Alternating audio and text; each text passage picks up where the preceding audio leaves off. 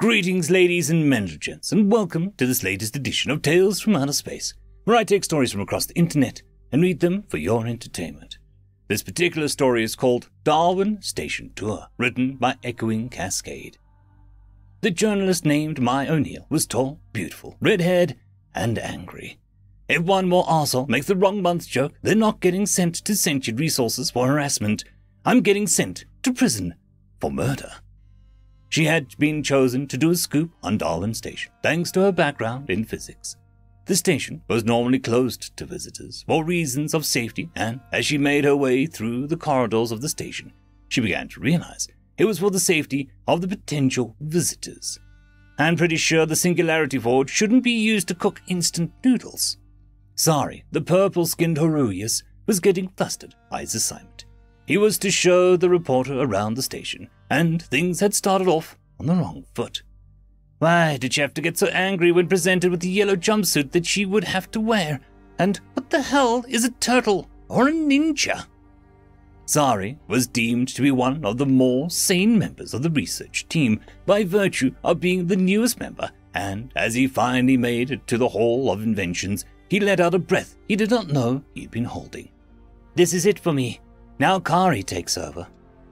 Sari had done what he could to gloss over the multiple infractions to the safety code and common sense laws by telling Miss O'Neill that there is a thin line between genius and insanity. And to work here, you don't have to blur it, but it certainly helps. She nodded and seemed to agree. Sari shook the human woman's hand and left the room as fast as was decent to do so. Good luck, Kari. Sari wished his fellow Haruius. Mai was getting bored. She'd been shown inventions each more useless than the next. Ice cream that only melts in the presence of saliva. Chewing gum that doesn't lose its flavor. I'm pretty sure I signed up to a research institute, not found the golden ticket to Willy Wonka's factory. She was half listening to Kari's explanations when something caught her interest. Kari. Self-applying paint, rubber ducky with perpetual engine, smell-capable television. Mai quickly stopped the talking Haruius. Uh, wait, uh, what was that last one? Oh, uh, it's a television that. No, no, no, the one about perpetual engine. Kari motioned for the aquarium where a rubber ducky was swimming in circles thanks to a small propeller. A researcher made it a few years ago. All it does is swim at a fixed pace. Mai had her hands on the glass and looked at the ducky like it was the Holy Grail. All it does? Are you insane? This is revolutionary. How does it work? Are you familiar with the laws of thermodynamics? Yes. The ducky is not. Mai was about to question the mental capacity of whomever spoke when she realized it wasn't a voice she recognized and turned around to look at the speaker. Who said that? She saw no one. Ah, don't bother looking for him. That was Gary. He's kind of shy with newcomers. Okay, uh, what is he though? That was one sexy voice. She blushed as she caught what she had just said Kari couldn't help but laugh, only adding to embarrassment. Ah, I'm sorry. It's just that technically you're flirting with the. Never mind. As for how the ducky works, we don't know. Mai read quickly. How can you not know? Kari scratched the back of his head and gestured learned from a long time spent with humans. Well, the scientist who made it also created the bubble of unreality, put it in a shoebox, and uh, then he broke rule one. What is rule one? Everyone in the room who had up to that point remained silent spoke as one. Do not the cat! Kari nodded. Kari, the scientist put a cat inside the box, recreating Schrodinger. What happened? Lights went out, someone said, Seriously? And he was never seen again. Kari made a mental note to make sure not to show the report to the Darwin Awards room, where pissed off death is under the scientist's picture. Mai looked horrified. Does that happen a lot? No, no, well, uh, define a lot. Kari ended the sentence by marking air quotes. Mai had heard enough and was ready to leave. Well, I think I have all I needed. Thank you for your hospitality. Mai started walking away. One of our scientists is about to put a finishing touches on the four dimensional Rubik's Cube. Are you sure you don't want to check it out? Mai started to walk faster. No thanks, bye. Kari crossed his arms, looking slightly hurt. It would not have worked anyway. Kari didn't even bother to fake surprise. Why not? Because I like David. He's a good person. Kari nodded and returned to his lab. End of story. Story number two Humans Reincarnate, written by Random 3X. Alan looked at the offered food tray from the dispensary and looked over the canteen to find free space. It was the lunch hour, so there were very few free spots. Over here, human Alan, Clonk shouted, standing up and waving while nearly toppling the table in the effort. Heading over to the table across the room, Alan settled into the free spot Clonk had saved for him. Putting the tray down, he settled in for what he could already tell would be an interesting lunch. Less because of the bland food paste and more because of the company. The lot arrayed at the table always got into discussions about all manner of things.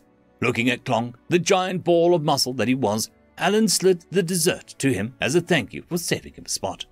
So, uh, what is today's subject? Well, human Alan, the subject was Plinko's hatching brood.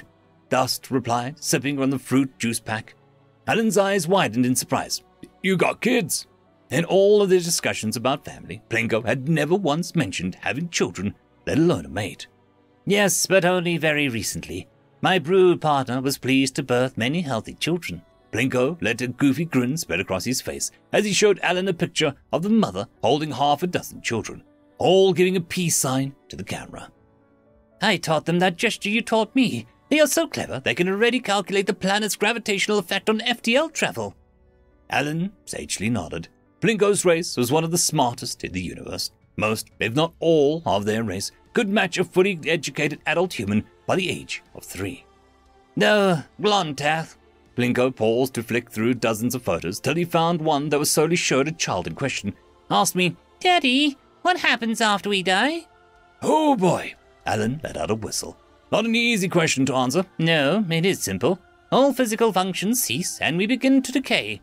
But he then asked me, Where do our minds go? I'll be honest, that one has less research on it. It's obvious, is it not? We move on to the great nebula, Dost declared, thumping a claw against the table. Is that so? Plinko asked. My race believes we go to a paradise, Clonk added as he struggled to get the lid of the dessert pot off. What about you, human Alan? Plinko asked. I understand your race has many ideas of the nature of what happens. Alan failed to restrain a chuckle from the observation. Far too many ideas. Some cultures believed, like Clunk, we went to a paradise. Others believed that bad people would go to a place for eternal punishment. Some even thought that you had to die fighting to get a good place. Clonk looked up, having finally won his battle with the lid. Seems nice. Personally, I subscribe to the idea of reincarnation. Plinko tilted his head in confusion. Rein, uh, I'm sorry, human Alan. I am unfamiliar with the term. It means when we die, our souls are reborn, and we live another life. And you retain memories? No wonder why humans are so crafty as they are. No, no, Plinko. The general rule is you don't keep your memories. Each life is like a fresh start, though there are a few examples of people claiming to have memories of past lives. How intriguing! Some cultures believe that you can even become different species, that depending on the life you lived, you can become better or worse on the scale.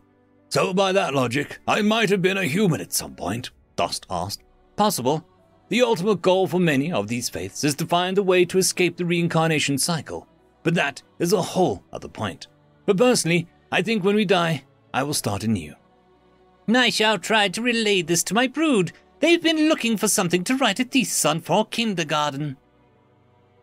End of story.